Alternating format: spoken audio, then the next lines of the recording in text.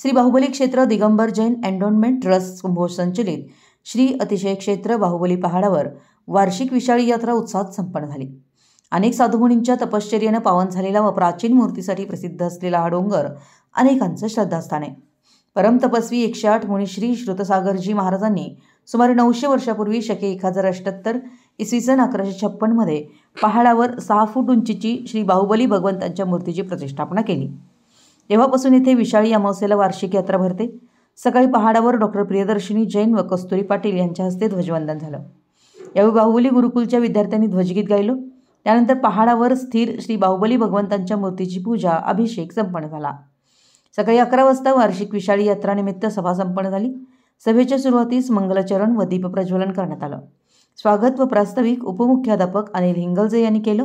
अतिथी परिचय अभिषेक पाटील यांनी करून दिला. यावेळी प्रमुख अतिथी व देणगीदारांचा सन्मान करण्यात आला. प्रमुख अतिथी मनोगत श्रीमती कस्तुरी पाटील व सगळे यांनी व्यक्त केलं. तर सभेच्या अध्यक्षस्थानी असलेल्या डॉक्टर प्रियदर्शनी जैन कोल्हापूर यांनी अध्यक्षीय मनोगत व्यक्त केलं. संस्थेचे विश्वस्त समोशरण भोकरे यांनी आभार व्यक्त केले. तर सूत्रसंचालन अध्यापिका वैशाली पाटील यांनी केलं.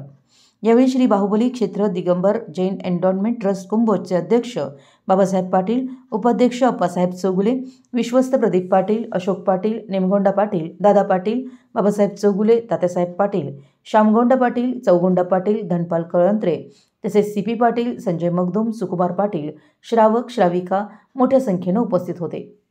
यावेळी सर्वांसाठी महाप्रसादाचं आयोजन करण्यात आलं होतं. कुंभोज प्रतिनिधी मराठी एस न्यूज